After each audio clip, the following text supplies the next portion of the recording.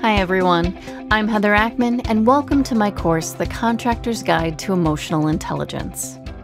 Emotional intelligence, though a relatively new topic, has quickly become one of the most important factors in maintaining a successful business, not to mention working from home during a rather difficult and challenging time.